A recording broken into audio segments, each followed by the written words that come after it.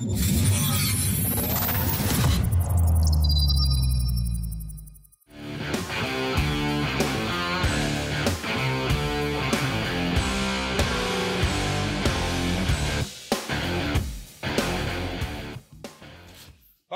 guys, Kane from Garage 11, and here we are, the very first Garage 11 Boxcast. We're doing it. We've got it here. We've made it. It was pretty wild, probably what, about 10 minutes ago. I think this was all going pretty south pretty fast. It's been Gozzo- going south It for the last wasn't- it wasn't the setup. So what we're going to do here, we're going to bring all of you guys, anyone who wants to listen, we're going to give you insights into what's happening in current motocross, retro motocross, what we've got going on in the workshop, product reviews, different things, all sorts of stuff. It's going to be fun. So hopefully we'll be able to bring you some really good and interesting, engaging information. You won't get any smarter. You won't learn anything. You might go back. You might go backwards, but this is where we are. We are Than what we are. we are dirt bike riders, and we all have hit the ground way too many times. to my left, the one and only Mr. Marshall Smith. How are you, dude? Shit house. Shit house. Um, yeah, I'm good. You this good? Is, uh, gonna be. Sink or swim. This is going to be make or break. It's gonna be So experience. you've been a big part of Garage 11 for uh, probably the beginning, really. You and I have sort of. Well, I basically started it all back in 1950 when I was born. Um, no, 1950, that's probably pretty accurate, isn't it? um, We're not going to. There's probably a few people that don't know that. No, no, yeah, so it, it all sort of started out meeting you through building an RM250. Yep. Um, we spoke about that on one of our behind the build did. episodes on YouTube. Um, and it's sort of just not just been a business, it's been a massive friendship. Yep. Um, and I spoke to Gozzo behind the scenes before this even happened about you. Um, and you have no idea about this, but the whole Garage 11 thing is him. Like, he's the main man. I, the, I'm part of it, yeah, but the main part is Kane. Like, he's the one that does majority of the work. He's a well, pretty much does all the work. I just pretend that I do a lot of the work. I did nothing. You're the I did emotional. absolutely nothing. You're the emotional support Labrador. Um, At least you do something. I just dropped my bike. off. yeah, he's Shit, yeah, yeah, dropped off, rocks up. Um, yeah, so I mean, the big star behind all of this is is Kane, Yeah, and definitely. for everything that I have in regards to dirt bikes and parts and this and that and whatever, and it even travels across to our friend circle, Gozzo, and anybody else that knows us. It's very close. For those of you who know us. For those of you who know us. Um, all of the the contact, well, majority of the contacts and everything that happens is because of this guy, not Mm. not because of me, because of him. He he's the Oh, he's the I, main guy. I think there's a, a, a, you know, I'm not going to stroke each other's balls too much here, but I, I think you're between us. I think um, a lot of it as well. Like I'm about as socially adequate as a house crick, so it's sort of good having someone who has some sort of knowledge. I mean, being a mechanic, being social isn't my my forward skill set. yeah. Um, So having someone like yourself come in and, and you know and be a friend as well. And it's like this is all going wrong. What do we do? What do I do? You know, having that support has, has been massive for Well- the business growth. Yeah, but you know, at, at the end of the day, the work happens Hmm. Because of him. Yeah, like me Um, and me and Marshall would talk about a podcast and kind of talk shit about it, but Kane's the one that like He's the one that makes he it drove happen. it, man. Like Yeah. he said, we're gonna do it on Monday. I go, Yeah, yeah, we'll come over to the, the studio and we'll have a chat. Yeah, yeah, yeah. All of a sudden, we got the barrels out and we're We're on. And the So- microphones that didn't work. Yeah, Yeah, now we're recording on phones. Not actually here. Um, but yeah, I think it's been pretty good. To my left, it's working right? Which one's this? Right. This You're one. right. The Right, camera's yeah. left, whatever it is. James- now I know why we can't turn. Yeah. Mr. James Gozzo, like I said, James has been, or Gozzo, sorry, it's not James, it's Yeah, Gozzo. we'll just roll it's with Gozzo. Gonzo. Gonzo.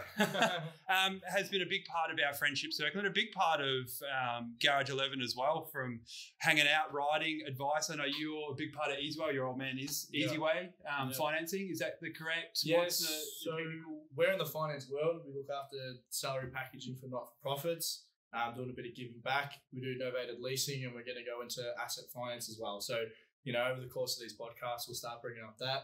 Um, You're big into fitness. You've done a lot of fitness stuff as well. Your Yeah. background is a lot of Yeah. That's You're why you're as wide as being a you are tall. meatball. yeah, I'm the meatball of the group. But yeah, no, when I was 15, I was. I think, So last four- week. Yeah. when I was 15, I was 47 kilos. Like Yep. Pretty much anemic. Yep. Um, and then started going to the gym. Started bodybuilding, competed, won a few shows, got a tattoo by Marshall. That's how I met him. And I had a bike at the time. Like I'd, I've ridden bikes since I was three, but I had a massive off period.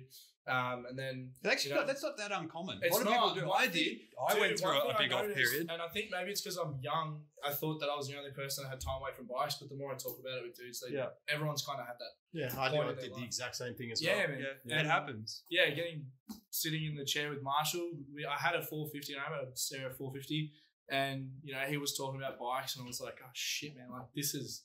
I love that shit. I want to get was- back. Yeah, I didn't know what I was doing. So then from that point on, man, it's just been um, flat stick with these boys. And that's the good thing about Marshall is he he has this innate ability to bring people together. Mm. You know, like you and I might not generally have hung around if it wasn't Yeah. for that sort of catalyst. Same with Aiden from Cruise Tune. He's a he's the fourth Mm. member of our of our tribe. Um, Yeah. Retards. of the I can't say that.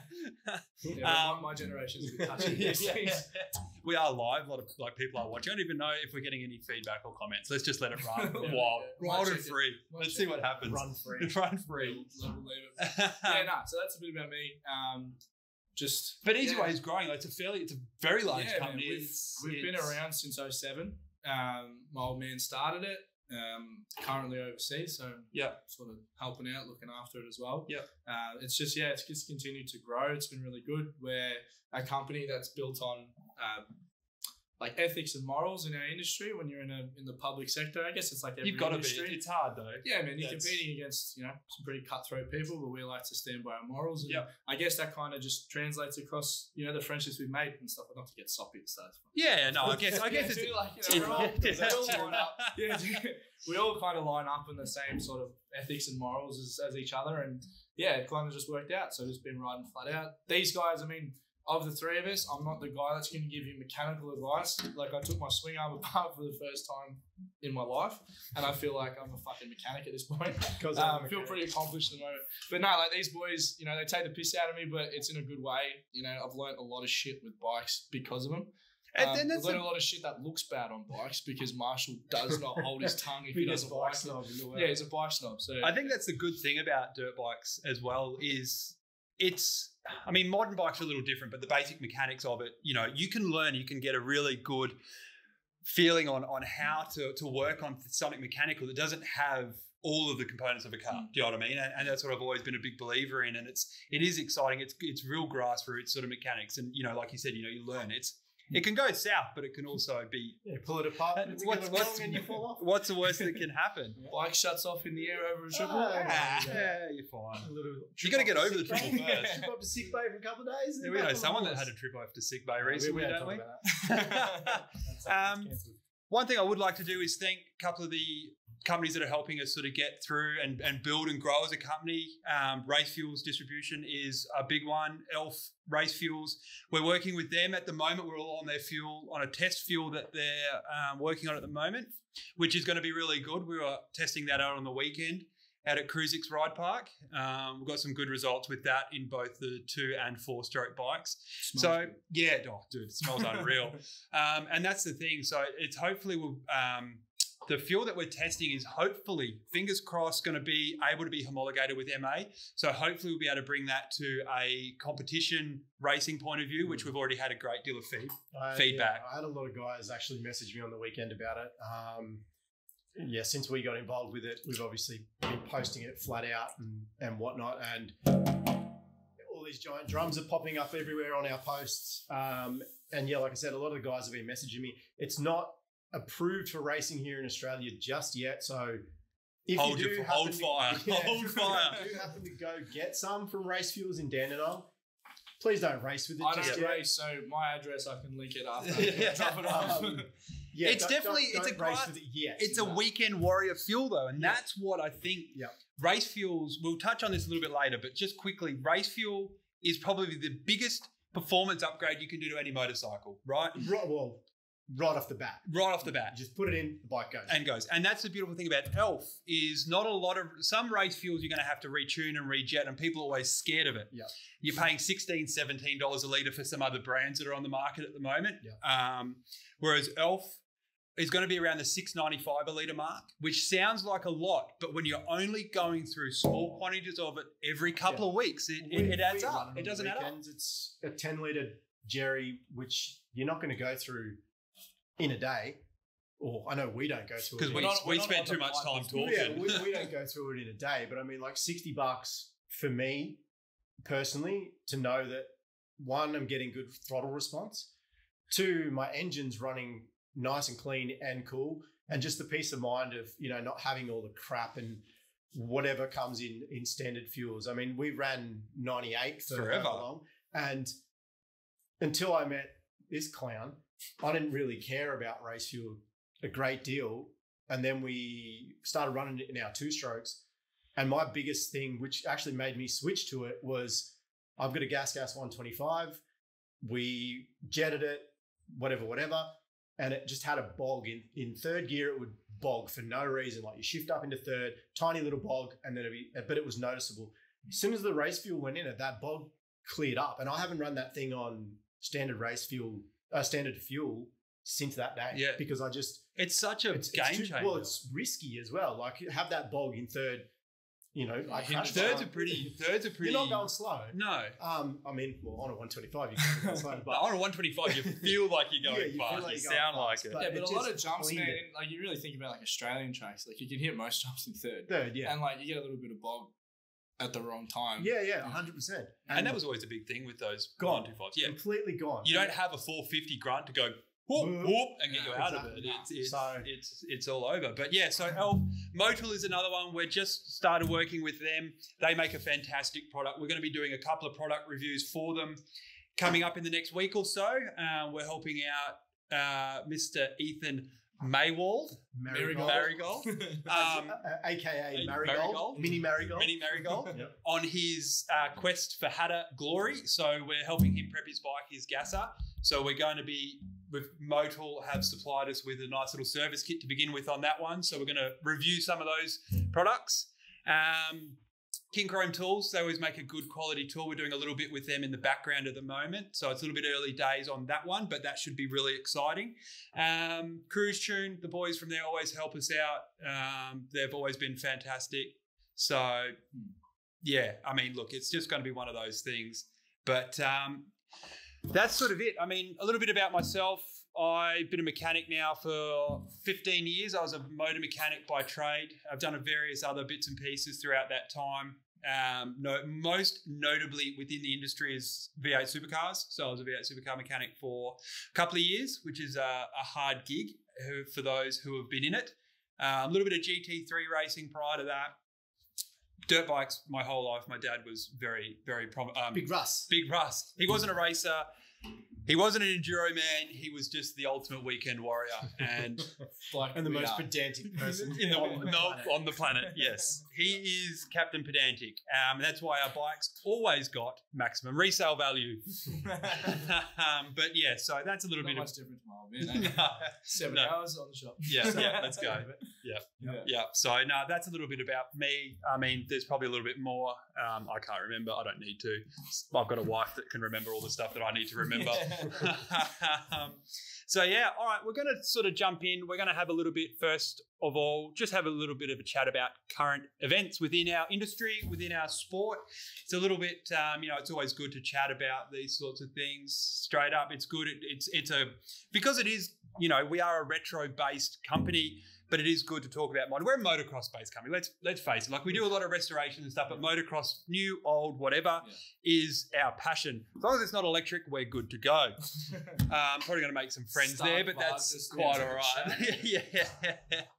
Um, first of all, the biggest one. Congratulations to Chase Sexton for winning his first Supercross title. That was pretty pretty wild, and I think almost people tried to take the wind out of Man, his I've sails. seen the memes already. There was one the other day, and it was like a little box, and Eli Tomac handing this little box, which was a present to Chase for the motocross season. I was just like, man. Oh man, Bro, it's a He 17 won. round season. He if won. you can go 17 rounds, if you can, for us, if you can jump one triple once, you're my hero. Do you know what I mean? Like private How you, you're like the king of saying, man, I wish I could just hit a rhythm section. Yeah, just two One. triple once. And Once, like- I'd be it. I'd Nah, call it a day. My, I'd my opinion with that thing, man, like I, I hated T- Tomac for years. Like Yeah, I was the Cowie, I just didn't like him, and then on a Yami, I started like. I think his really liked him. personality Dude, came was out. that- though. he got the, the collar taken off him. He can actually talk, but like Chase deserved it, in my opinion. Like. hundred percent. You know, he if he didn't stack in those races, dude, he would have smoked everyone by about fifty But points. here, here's the thing, though, right? Sorry to cut you off. Here's the thing, though. Everyone says Chase was gifted it.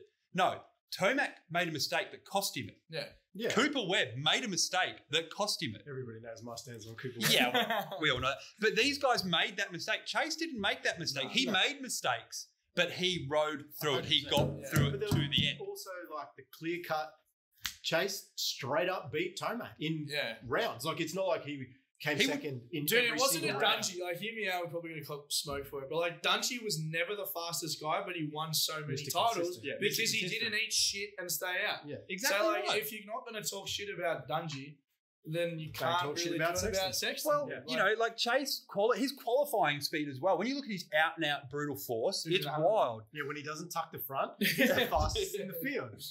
What is it? Qualified top three in 21 events in succession. Hmm. That's out of control. wild. That's wild speed. That's you know what I mean? You know what's even more wild was like the last few rounds, Jet was quicker by like a little. That's in uh, timed qualifying, dude. That's fried. You're on half the bike size. that's out of control. That's stupid. that is out That of control. dumb. Jet's going to be fast. Jet's going to be super fast. Jet already is fast. Like on a 450, I I don't think teach you, you get.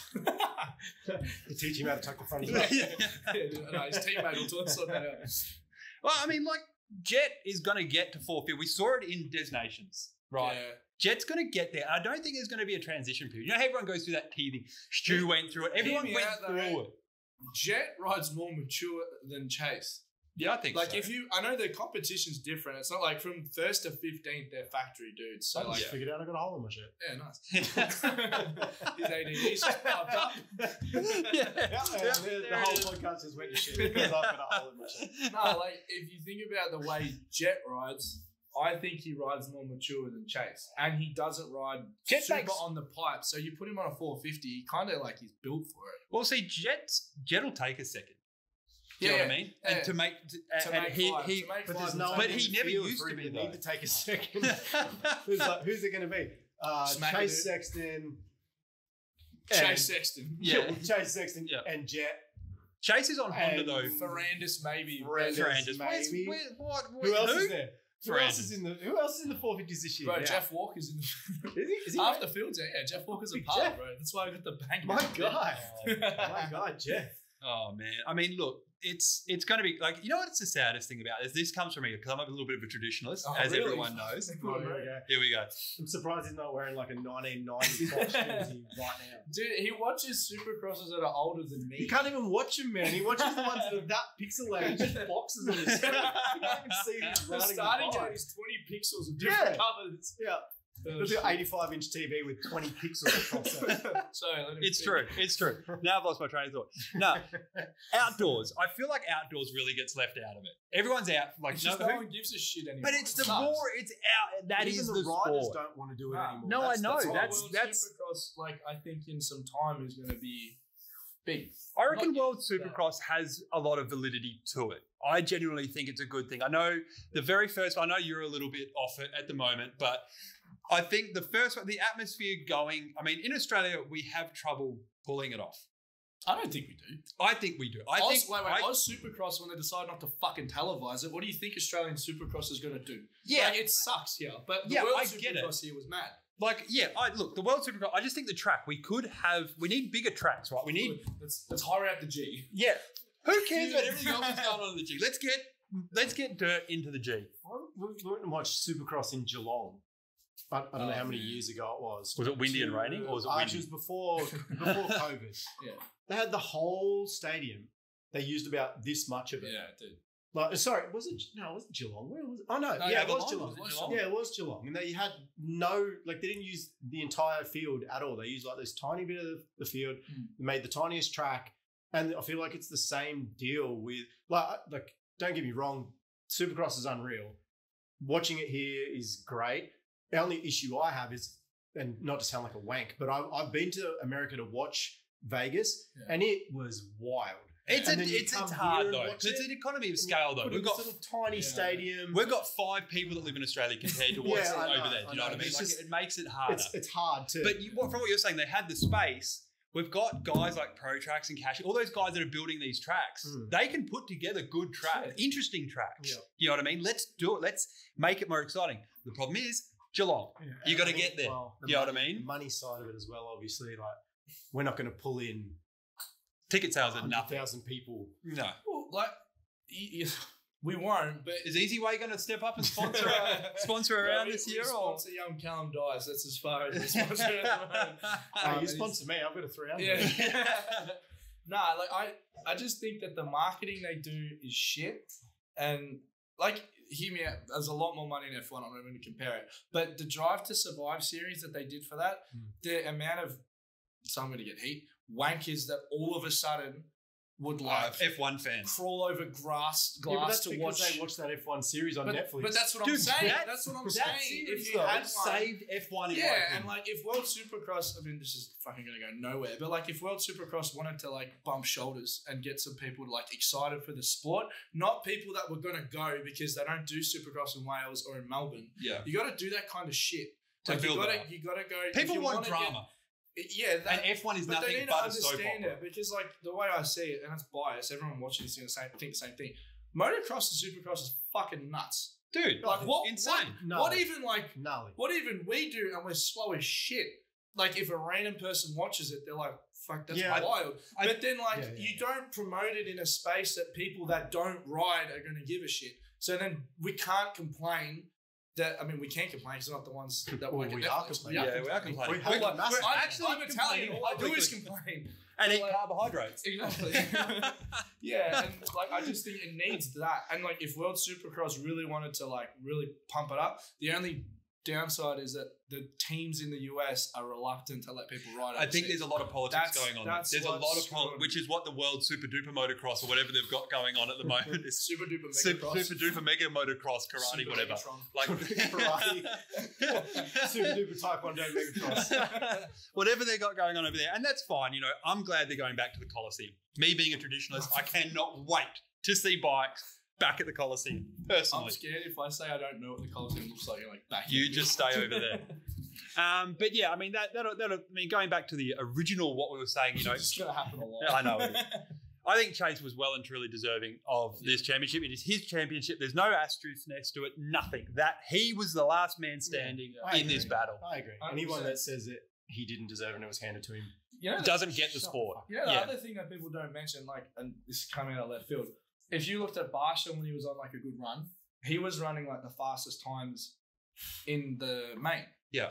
And it's like, yeah, he was fast as shit too, but he wasn't consistent and crashed at different races. Mm. And then I was, I think I mentioned it to you or you. Um, if you look back at some of the previous years that Tomac threw titles away, no one gave a shit then. No. Like he's done. Like I love Tomac. I'm not bashing him. It's happened before, and it's a freak accident. Like, dude, Oh, you're riding happens. a dirt bike, and like w- shit happens, dude. You know That's what I gonna love about it though? Now it's like, oh, the bike's too fast. Oh no, it's There's not. nothing to fucking do about bikes being too fast. You think He Tomac let who it explodes a 450 in the 20 minute Yeah. race at Daytona But thinks that the what bike's they too were talking. fast? Oh, the sport's not safe enough. Like, okay, yeah, then it's not. It, it is what it is. But like going back to what you just said, like Tomac fucked up. Yeah. It happens. Plain and simple. And dude, you can't say extreme sports are too dangerous. Like I'm a massive MMA fan, like huge. Like I've fought. Yeah, it shows. Like, that's- no, but like when someone gets their leg broken by a leg kick, we don't go, oh, we need to pad up their shins when they fight. We need it's to, like, we need to oh, stop kicking. This is part of the Yeah, dude, it's a part you sign up for it. Like no 100%. one, I feel like not. I mean, We- there are people that We say all dangerous, know the like, risks. dude. Yeah, We all know the risks. The bikes are getting faster. What's the Stark Varg I now? still, and look, I, we're, still, we're talking. I, dis- I, no, I, I agree with they're getting faster, but then your stock suspension's better, and then your chassis Yeah, everything's better, and leveled then up. your The riders better. have leveled up. Exact- Yeah, absolutely. look at Moto. If you watch, it, say Moto Academy for example, Hmm. if you go back to your prehistoric era, no one had like resources. So what was I in? the mega. But you're better. Super You're- mega. Super- super super mega. mega I like cross. the super mega motocross Prehistoric. sports. Yeah, but back then, Edition. what'd you do? Like buy Dirt Action magazine, and then there was some tips there. Hundred percent. Yeah, but- MC was making it look good. You know what I mean? You put your Yeah. you'd put your But Esky like on your head and you'd go forward and conquer. like Put now, and the best, example. Off you go. the best example is not lightning quick, but my mate started riding last year, like Macca. He Yeah. goes with it. No, He his corn- name's Smackadoo now. Smackadoo Smackadoo, because he yeah. goes down. Smackadoo. But he corners with his feet on the pegs more than I do, and I've ridden since I was three. Yeah. But that's so the thing. that's That's, like where the it's next going. generation. So you can't complain about bikes and tracks if people are getting better too. No, No, no, no, you It's not can't. just bikes and tracks have leveled up. Everything the whole else. sport has leveled up, yes. and the risks of leveling up get bigger. They get 100%. F1 cars get faster. The supercars get Yeah, faster. 100%. Where- GP bikes get faster. And yeah, GP bikes. Look at you. What we're doing is just different, right? Because we're coming off the ground. The minute you come off the ground, yeah, it's just wild. stuff starts get, it's changing. I can't jump to save myself. We all know this. I like staying on the ground, but that's just that's just what it is. I mean, looking at the last, the other thing I want to say is like talking about safety. You know, Kenny got a lot of heat when he pulled off. You know, people saying, "Oh, you know, Kenny, Kenny, Kenny's been He pretty." pulled off. Yeah, bro. Dude, my man. You How many- Kenny. How many times did he pull off? What? but you know, like the sport is getting dangerous, and or not getting dangerous. The sport's getting faster, and those bikes are getting faster. You know, you're gonna do a But are knee, they but like, getting faster? Is my question. Like how long? How many? do the years, start like we're talking about electric, right? Let's let's talk. but Let's how many let's, years? that's eighty horsepower. horsepower for now? Yeah, a while. How many years? They've like since 2016, 2015. Yeah. They're not getting any faster. Yeah, yeah, still going. Still going. They're not getting any faster. They're, they're now capped. To like they haven't gotten any faster. They're just they're what they were back in. Yeah. And here's something: if you listen to a lot of what the pros say with their 450s, they don't like spice them up. No. So they could be faster. 100. percent You- Honda could make that thing a fucking fire-breathing dragon if they wanted to, but they don't. No, Like, not a lot of riders want it. and you know it's interesting. I, I honestly think the 250s would be harder to ride than their 450s. I would literally. Well, you got to rev them harder. say that. Oh, we should all get 350s. Oh, no, Gypsy Tales. Look, 350s. Look, I think three fifties is probably good. I've always said that What there's are you the- talking about? You've never even ridden one because you're a pussy and you won't ride mine. yeah, because it's I'm like, Why hey, you want to ride my bike? No, I'll just stand here and watch you ride mine. dude, it's got a shovel for a front guard. I can't. got nothing to do I'm looking at the front guard. I'm looking there. All right. What's Ethan been teaching but you you? shouldn't be looking Yeah, yeah, through through the corner, Through the not corner. at the front guard. Here and there is what they call it, or mountain bike guys call it, whatever. I don't know. Um, but yeah, we've got some cool guys coming, I reckon. You know what? One thing's going to be interesting for World Supercross is I didn't realize, but Mike Alessi, I think he should be coming out here on a 300 smoker. He can ride. I think you the should ab- stay in America on like out of the test. How I is think- he? I think- he's still I going think Jeff though. Alessi should be like back on the lasers. so, yeah. Um, yeah, I mean, is Tony coming down as well? I want to see him get involved. Him and your punching- punching people to bits. I think it's going to be pretty interesting. I mean, He's look, a 250 too. That's wild. yeah, I think so. I, Dude, I'm putting my house on whole shots. dude, he can love him or hate him. He can ride the absolute It'd be ass like out of him. sports bet every weekend, Yeah. unless you for the whole shot. yeah. Bam. Yeah, I mean, look, that's that's crazy. Justin Dude, Brayton. hang on, so you're gonna put a multi on for Alessi whole shot and Vince Friese being a dick. First, And so first, you're take someone out in the first race, I mean, Yeah, Friese. Vince That and then was try to pay, then what try to pay someone at the line Yeah, just- to win the So yeah, when championship. Vince, when I Vince comes feel- to Melbourne, if you don't think I'd say it to your face, I absolutely will. Just put it out. I because he feel was like- frequent watcher of G11. I, I, I feel like that was a joke that got taken out of context. It no, wasn't. it wasn't. It was Are proven. It was Really? an actual Dude, yes. that shit happened. Dude, it happened. You're too busy. You're too stuck in the nineties to know what happened last Oh, year. man. What, what, where's Emig? Is he racing? He's coming out. Jeff Emig's coming out. Dude, this, he, he's been watching Loretta Lynn solely because like Emmy still races. Yeah, I I'm, think. uh, he's my boy. years. I'm on it. Maybe I'm on it. The test rider for Triumph. And not Carmichael. Nah, he still rides a Husky. Has he got support from Husky? Yeah, he's he's on a smoker too. Is he? Yeah, he's on a he's not I smoker. don't know, man. I don't watch those old people anymore. Dude, they're the I just best listen people to you talk about it all the time. um, Justin Brayton. speaking of Justin Brayton, Yuri's bringing him back out. How is he still? Surprise, surprise. Surprise, surprise. Yeah, I Dude, know. podium. His podium. He, he'll like minimum first, like second or third. But we were a big arena cross. I feel like a lot Wait, of was these. he? Was he here for Yes. WSX? No, Nah. He wasn't, was he? no, he he wasn't. wasn't. In Melbourne, I mean, not No. obviously. No, no. no. I mean, Oh, that's I, right, because it was the it was the Frisian Roczen show. Yeah, wasn't it? That's right. That's and that's what hurts World Supercross. just deflated, just like.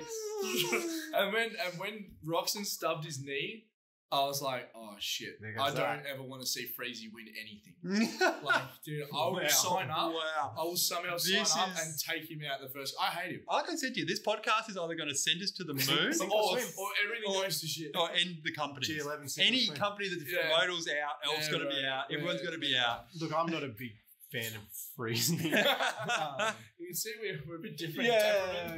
yeah, I'm not. I think, yeah. Look, I think I think World Supercross is fantastic because it does give these guys more longevity within the sport, and that's what we've seen a lot. You know, you look at Villopoto, all that sort of stuff. The sport eats these guys Oh, alive. But Dude, they have two weeks off. The, the question is for me, like, at what point are we going to have supercross only riders at all times Dude, it's gonna come. and motocross riders only at all times? Or because does- I know AJ, like Moto Academy, he wants to start a supercross training Pro, like facility. program facility for people who want to race supercross. Not but I mean, there's only so many gates, though. How many rounds uh, can we have? How much can we do? But that's what I mean, sports, like- the disciplines are they going to split the disciplines and then have I don't know AMA Pro Supercross and then have WSX and you know you can either ride World Supercross or ride AMA Supercross. AMA Supercross or and then is there going to be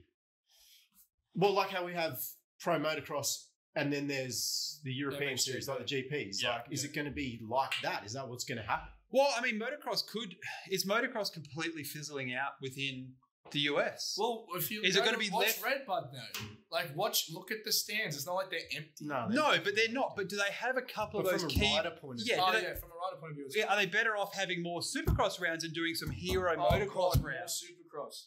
You want to put them through, Mate, more. they're going through World Super Duper Karate Motocross. They're going through World Supercross. They're going through AMA Supercross already. Do you know what I, mean? Like, do we have a couple like, of key hero motocross rounds, the big, big ones?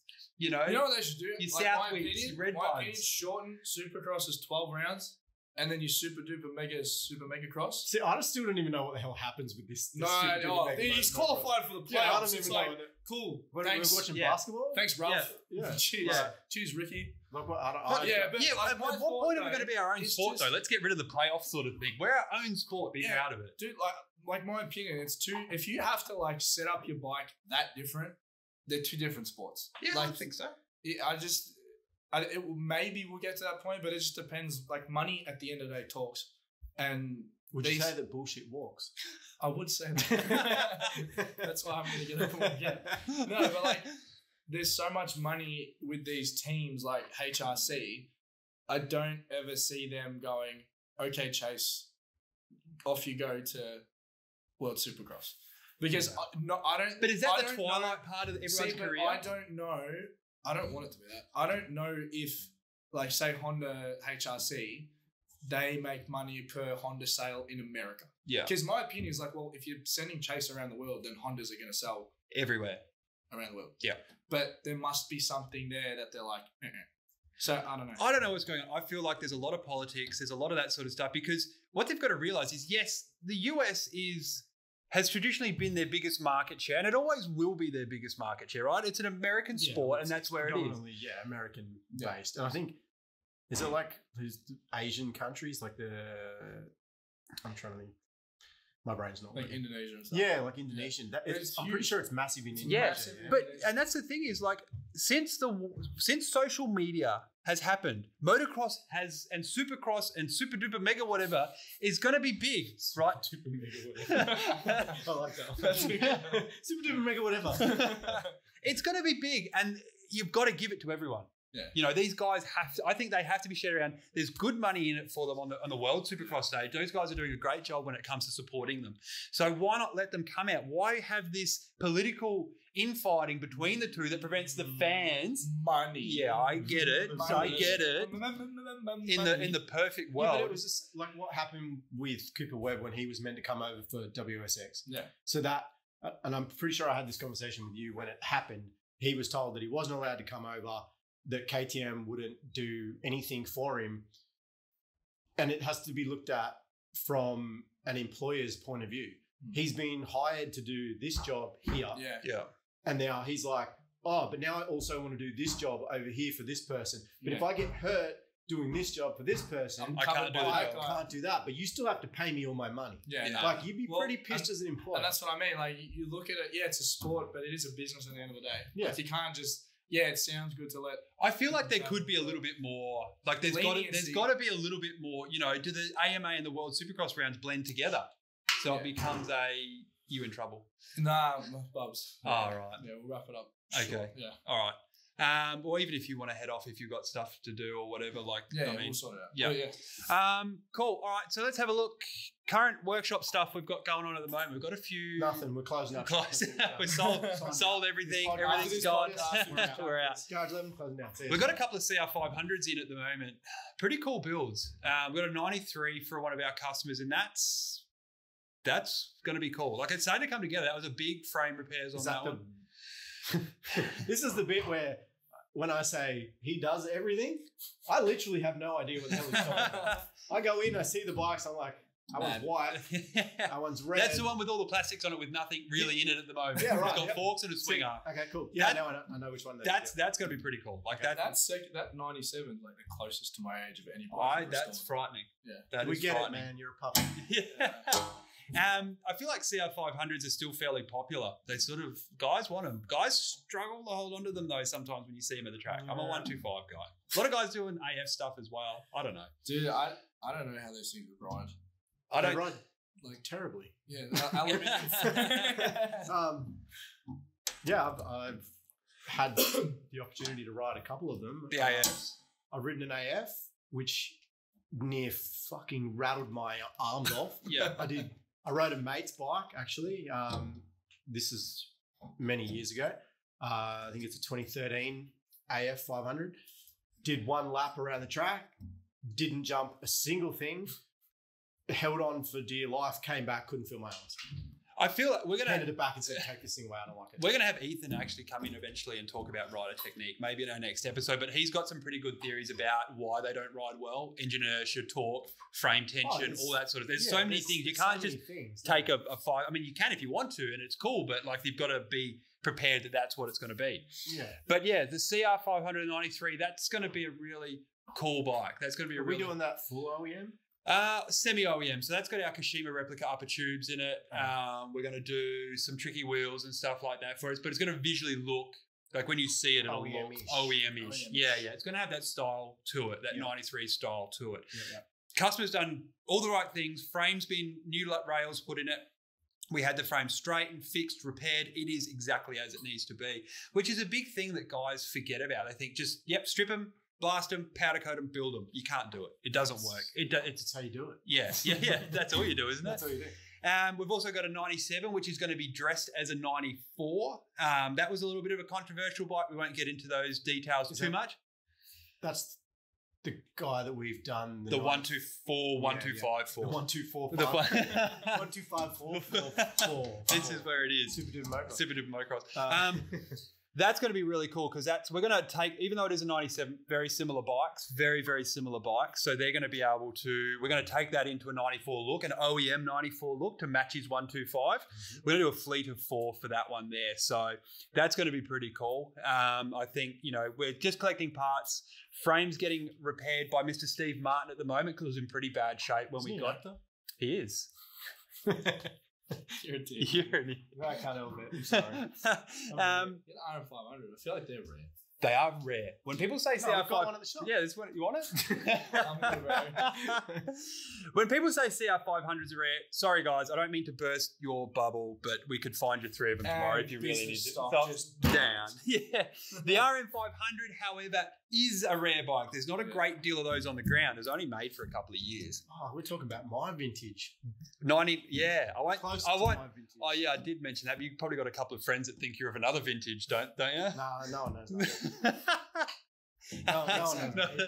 So these are a big air cooled, full floater, conventional forks, real 80s stuff, real Big men were men sort of stuff. Chair bike. Yeah. real yeah. stuff. I Go no stupid.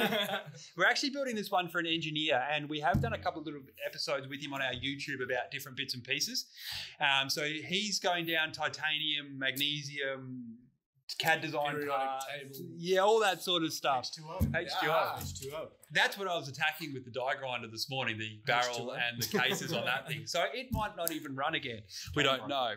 Um, the other one's a cool little one, actually. We had a customer who wants an XR80, 1986 XR80. I've ridden one of XR80. those. Have you? Why? I feel like it's got that nos- that, that that nostalgic feel to it though. Like that first bike you get on. Bro, You got the money P do dub on the you wall like- Yeah, dude, I got the P dub on the wall. You know what I mean? So there's 03. and they're actually they haven't changed. You pointed it out. That front end on that thing is Thought out of of a T is out of a CRF 110. Yeah. That, This- got the the- same front end Yeah. as my What, the 110. PV50? No, the No, Oh, XR80 XR80, from sorry. 1986. Yeah. Yeah. So Honda have gone, you know what? We've put It a stake in the ground. It this works. works. This is where we're going for the next 30 plus years. We make way too many their race of these. bikes Yeah. In yeah, yeah. At least it's not an alloy frame. So that one's coming along really nicely. That's going to be OEM. So the customer's looking to keep, like, to relive his youth with that one. Yeah. Now this one, this is exciting. Everyone's been moving this one around for a while. You've seen it now. You've looked at your notes. You know exactly the bike I'm talking about. Big Rusty's, my old man's 1986 YZ250. Now this is a hero bike for me. The photos are on the whiteboard at work Yep. of his bike from the 80s when he was a younger, more motivated Big Rusty is Kane's dad. In case Yeah. we didn't go over that earlier. earlier. Um, he's a mountain of a man. He's huge, right? That's why we call him Big Rusty. Or what? 68 kilos kilos. of him. um, this is his bike we're going to restore. He wanted, what was his brief? Make sure it goes in a magazine. Yeah. So we're going to start printing our own magazines and put it on the Just front put it cover. on and there you go, done. Dad. It's done. Take a photo of what it is now, wait it We're going to touch on this a little bit late, a little bit in other episodes, but the 80s are the hardest years to restore. They are impossible. So the 80s was a massive development cycle for dirt bikes, Oh, right? changed. So they went from being grass track, twin shock, Mako leather hat sort of riding sort of things. Then they went, let's let's do motocross. Okay, let's try put a this. single sh- shock single in shock in the back. Yeah, and then we're going to change that single shock every year for the next four years. Oh, so any yeah. parts you need, Gotcha. none of the aftermarket are going to hold it's, them, it's not like buying a KTM, well, not now, but like, or a the YZ. and they just hasn't change changed. Where you It's can like literally just buy yeah parts, parts. everywhere that fit everything. all the year through to every single one. Yeah. So like anything from the 80s, that 1986 Y, uh, YZ 500, that 1986 KX 500 we just finished, that was a nightmare. How how that even came together, I still don't know. Pipes, stuff like that. We couldn't get plastics for it, nothing. So the biggest part of that bike was, hey man, can you pull this, this, and this off? Yep, sweet. Don't break any Anything, it. yeah. I'm like, hey man, I just broke this. yeah, yeah. You know that chain slider that we got the last one that we could find, new old Don't stock, that's now in two pieces. Yeah. That's I didn't. I didn't mean it. I think he did. I didn't mean it. Like I literally, I don't even think I touched it. I think it just fell off. I- and that's the other broke. issue. You've got plastics and stuff that It's are brittle. thousand and- years yeah. old. Yeah, and we all know plastic manufacturing is hard for a lot of these things. So guys that are making, they just don't work. I'm sorry, I'm not going to name the company, but I'm sorry, but your plastics don't look good. They don't fit, and they're the wrong color. anyway, a lot of people might know what I'm This talking about. Then still still, tanking. still, still tanking. Sink or swim. Um, so that one's going to be pretty cool. All right, so we just want to touch on a little bit of a thing. People sort of ask us, what's a good entry level restoration bike? CR five hundred. AF. Really easy to do, Really cheap easy. to get parts Can't for, find them can't find them. apparently. Um, YZs, anything from 96 forward. YZ, uh, The best. You can cut find- your teeth. yeah, If you're, parts everywhere. yeah, Decent bike to ride. Like for you, if you wanted to go, hey, let's restore a bike, you wanted something fun that you could get mm. parts for, and you wanted a little bit of nostalgia, the YZ, like Yep. it, it was a solid bike from 96 onwards, uh, and it hasn't It's had really. minor changes. Minor changes, yeah. It's had a frame change and a plastics one. One. Once or twice. Yeah, yeah, yeah. But Graphics changed. Oh The yeah, graphics. they did.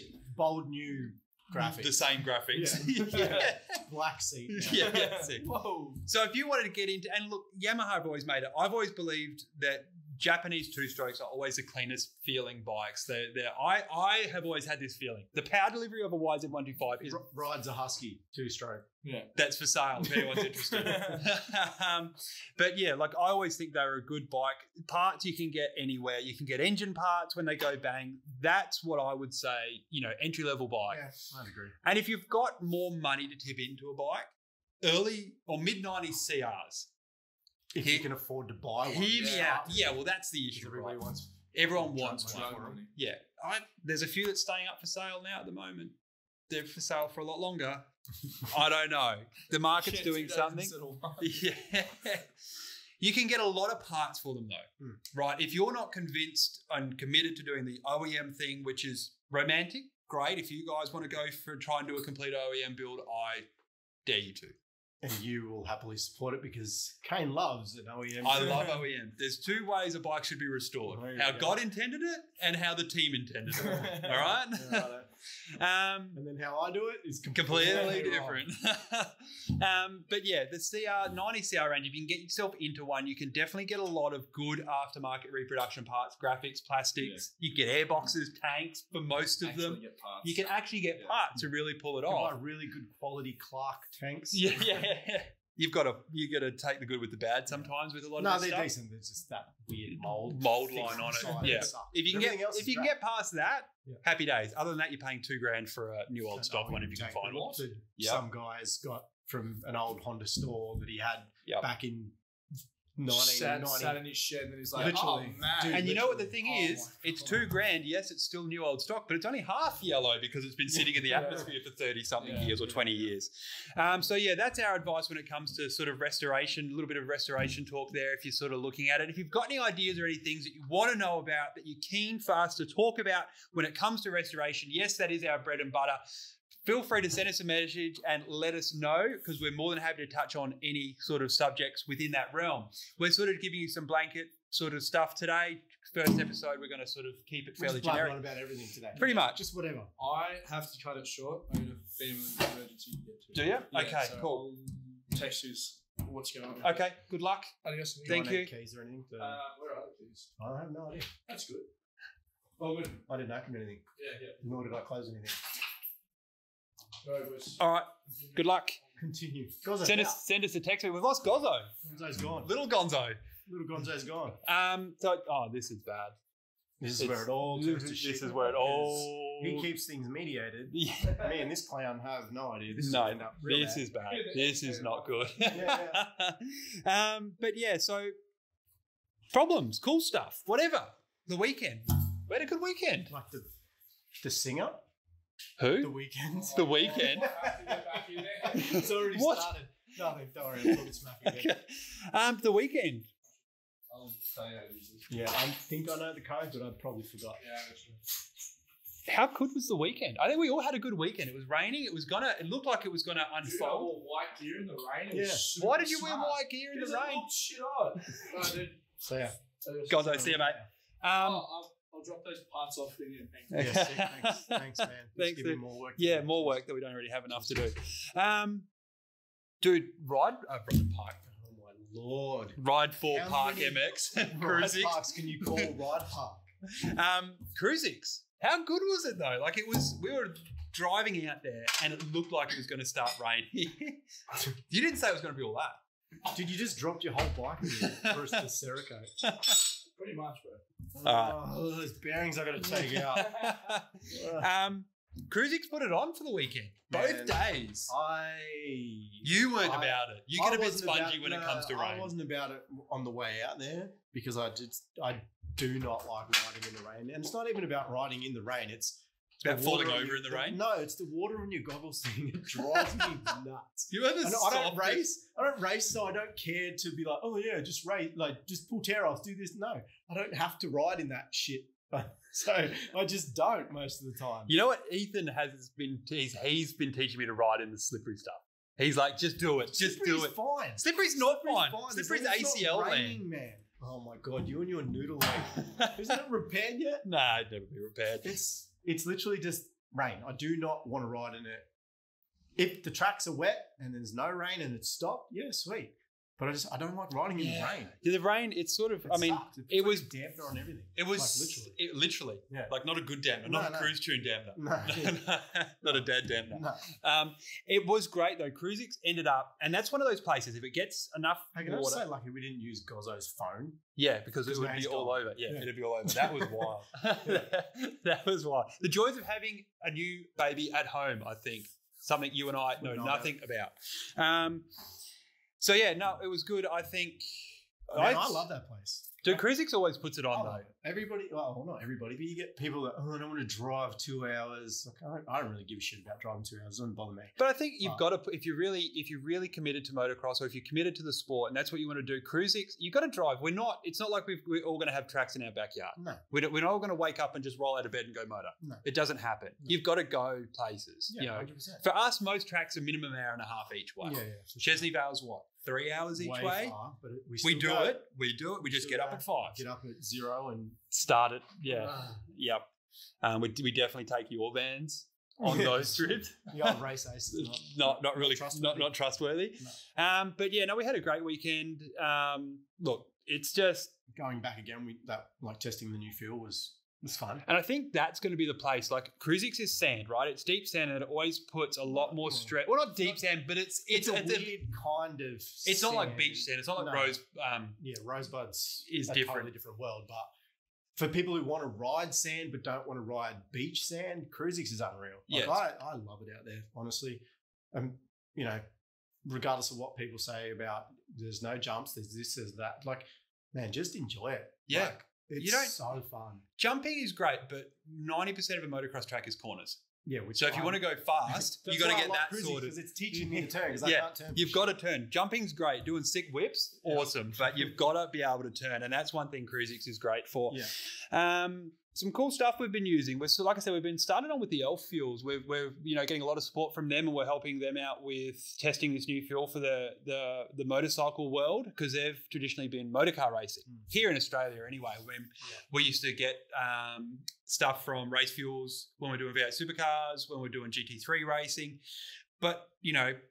It's like we touched on earlier. I feel like having a price point fuel that everyone can get into is is is unreal. Do you know what I mean? Like it, everyone wants race fuel, but they're too scared to, to, to, to commit to it. expensive. Yes. obviously no one wants to spend big dollars on on well i mean no one likes paying money for fuel as it is like we put fuel in the car no one enjoys putting fuel in their car No. it's expensive we do it because we have to um, the bike side of things obviously we still have to put fuel in our bikes to make the bikes go but everybody well i feel like people that ride dirt bikes and ride a lot there's always that little inkling in the back of their head, like, "Ooh, race fuel, race yeah. fuel." You, can smell, it. and you're like, you oh smell it. Oh, you see yeah. people, you know, dumping VP and stuff into their bikes and this and that. And you always see dudes out the track with a big, like, you know, a 20 liter or a 10 liter drum or whatever it is. And they're like dumping it in their bikes. And everybody does that little, "Ooh, I want to run some. Can I race fuel." justify? What's the Yeah. price and how can I make it work? But then they go, oh, how much is that? And oh, go, it's 16 "Oh, bucks a litre. $17,000 million dollars a litre. And you go, You know?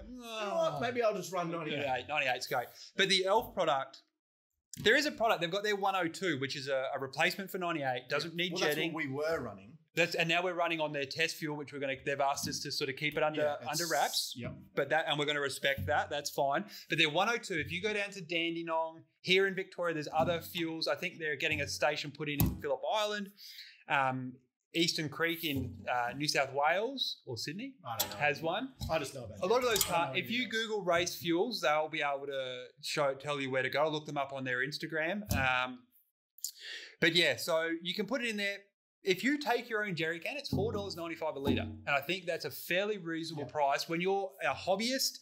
When you're wanting the best for your products, you're wanting that extra performance because it's a pleasure to spend money on your hobbies. That's why they're Oh, hobbies. Why do you think we spend buttloads of cash on new gear and new helmets? Absolutely. bikes every two years and blah blah blah. Yep. Why not just do it on the fuel as well? Exactly right. And look, it's an extra added cost, yes, but if you look at how much fuel you would use over the long term, it's probably not that much more dramatic. So that's why it's it's just a great thing, and we're working really closely with them. Hopefully, we can get it happening. Hopefully, we can get into the racing circuit because we've already had some teams, some Well, guys, yeah. and stuff talking to us. Hey, We've how had a lot of people interested in it, which is awesome. Um, you know, and if we can get like we're like, well, you know, we said before we're weekend guys, um, and we love using it. So if we can get it into like if we can prom- promote it as weekend guys, and then it goes into the the racing world, that's even better. Not just well, not just for us because we get to promote it as well, but for Elf and for race fuels because they've made this fuel for Australia. Yeah, Like yeah. it's not like they've just made it and they don't care and it's race going fuels. worldwide. No. this is for Australia. race race fuels went out and they said we need you know can we I think it was it was developed for a, a car racing category but they had requirements for MA and and we're not going to talk too much about it because there's still a lot under the wraps but Yeah. it hopefully fingers crossed will pass the laws and rules that we need to but however there's a lot more guys who are hobbyists than there are on the grid Yeah. so if you are a hobbyist and you want a really good fuel Elf is definitely 100% Yeah. the fuel to And it smells you. great. It smells amazing. I've been slowly cracking this cap every now and again because this still has a fraction of, of some It's got a goodness in, in the bottom. Um, so the air fuel ratio in this drum is perfect at the moment. What have you seen? Bike build stuff. You're the custom guy out of uh, our little group of madness. Apparently, apparently, I'm the the design guy. Well, you Um, are a tattoo artist, so I, I'm hoping for all your clients out there that you have some sort of I design. just rip everybody else's stuff. No. Um, I mean, your RM was the biggest one. The bike world, What's yeah. happening at the moment? builds. Um, London's doing a cool thing. Like we got broke to built happening at the moment. That's Yeah, got some wild uh, stuff. Cameron Namila is doing a broke to build again this year. Uh, I haven't really paid too much attention to it, but the one thing that I did see was Clint Lund's bike. Uh, he's a YouTuber as, as well, uh, and bike builder, mechanic, all that kind of stuff. He's built a, a bunch of cool bikes. Um, I think he built like a a YZRM 500 Hybrid sort hybrid of thingy. thing. I can't remember exactly what it was. I've seen him, you know, build some K, like a KX 500 that was pretty cool. Yep. Um, but the, the recent thing that he's built is, uh, I think it's a 96 CR250 Evo with, I don't know if you guys know what it is, like what the Evo, Evo L, I think they call It's It's got the, the, the big side Yeah, panels on the side of It's it. like got these big plastic. It basically, like the whole bike is covered in plastics, um, and it's They were super popular in oh not let's they thought they were going to be super popular in the nineties. but they They did. They and they're overheated. really hard to come across now. Yes. Um, but the one that he's just built looks It looks amazing. it looks cool. really good. Yeah, yeah. Colorways, the whole lot looks the great. rims, like he he went super bold. Were they dub?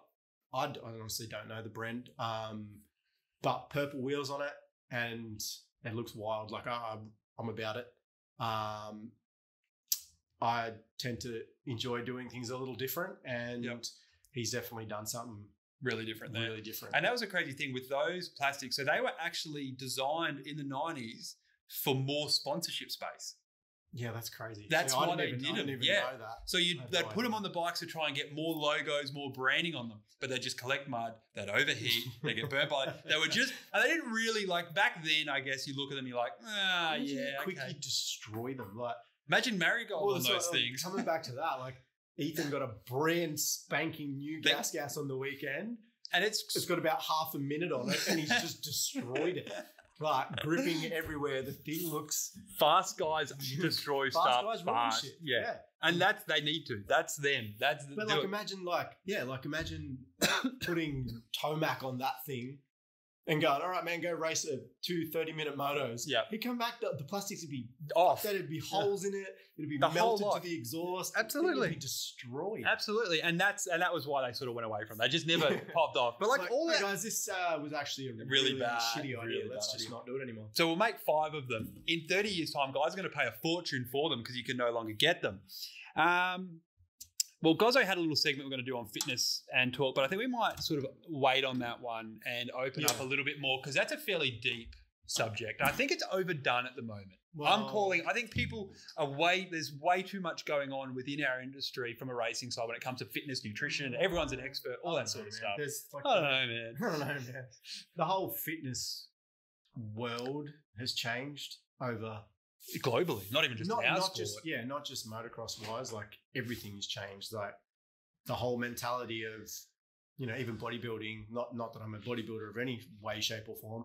Um, but the odd mentality of you can only have chicken and rice and broccoli and chicken and blah blah blah and this and now it's like macros this fats that and blah blah this and you got to have that many carbs and Yeah. it's just everything's so it's more everything's science based now and I feel like I feel there's too many areas for people to be taken advantage of with Well, bad information. well I don't know because it's like it's hard to say what's good information it's hard to say what's bad information because everything's different for every Everybody's single different. person. Every single human Exactly. being is different. Every, every everyone's single body person is different. there's a base guideline for things and it, it, it- well, I guess that's just in life in general because like whatever you do, there's a base guideline for anything that you're going to approach. Yeah. But there's always other avenues that you can take. So the fitness thing, I Do you think people are overtraining?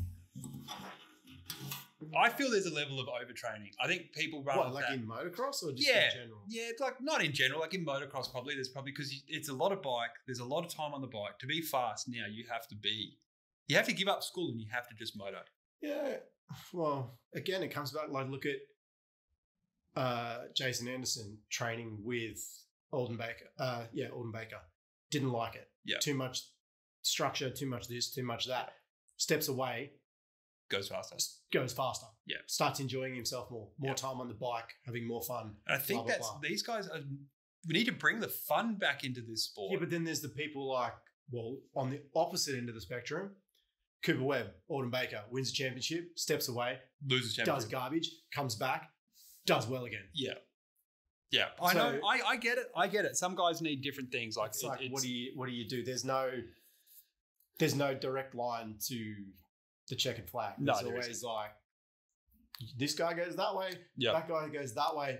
They meet in the middle, and then whoever is at the checkered first wins. wins. And look, I'm going to say, like, we'll probably leave this for another episode because this is probably we're probably coming to a close on the first one here. I think. Um, I think we're going to look at what was motocross, how fun it was back in the day, and I'm like I said, I'm always stuck. I'm stuck in a certain era, and to what it is now, it's very business, it's very regimented, it's very clinical, it's all that sort of stuff. And I feel like that's not what sport was meant to be about. But it has changed. But we'll like we might discuss that in a later date. But I think that's probably us for Yeah. today. I think that's that's been a good starting point. Thank you guys for those of you who joined joined us. Jo- It is Jaundice. definitely the For those of you that have jaundice, jaundice. Um, We're really sorry. Um, for those of you who have joined us on Instagram Live, thank you very much. Your feedback will be greatly appreciated on any sort of anything you want to Yeah. hear about, want to we, know we about. literally have no idea what we're doing. We're This- winging this. we If you saw what it was 10 minutes before we pressed go Oh, live, man. it was wild. Um, So yeah, if there's any any feedback, like we're happy to take it on board. If there's we're not that sensitive. no, like If it's rubbish, you tell wanna us it's talk rubbish. Shit about us, talk shit. At least you know it's it's some form of feedback. Yep. Um, Remember, any publicity is good publicity. well, yeah, and To a any degree. feedback is still good. good feedback. Um, We'll decipher it. If it's if, it's, if you're just going to shit can us, we'll decipher what we need to out of out of, out we'll of, take out of bits and pieces, snip it together, and then Make- put it on a video and make it look really good. good. Yeah. um, but you guys are what make us look better because we need the advice. Like we we don't know what no, no idea. Like Um, I said, we sort of started shit talking about doing a podcast. Let's do a podcast. Okay. If it works, it works. works. If you want to see more of it, say you want to see more of it. If you think it was absolutely terrible and we have no place, We're, we're not in the podcast world. YouTube, Spotify, Anyify, whatever, Whatever fi, any hi view, fi, iPhone, you, whatever. whatever. Let Just us know. Let us know because yeah, we're literally winging this, and we're hoping that we plan on doing it as a weekly thing, and obviously we want to get better week to week. Um, Like anything we do, restoration, everything we do, we always we do better the next time. Exactly. So You know, all jokes aside, we if you've got any feedback, Yeah. let us know because it is very important to us. This is our baby, and this is this is definitely a passion for both of us. So, and it's just something that we really because I pretty work. much don't want to work. I just want to do a podcast and just live the dream. So Let if you can really make that help- happen, help guys. me help you. make that happen. um, next episode, I think we're going to have the elusive Ethan on to have a chat about rider There skill and what's happening in the off-road world. So stay tuned for that. That'll be really good. And we're going to try and always bring you sort of some sort of structure to this podcast and, and what we've got going on. But my name's Kane. This is Marshall. Thank you again, guys. It's been absolutely fantastic. And like I said, it's any feedback's great. Welcome See to the next time. podcast. the podcast.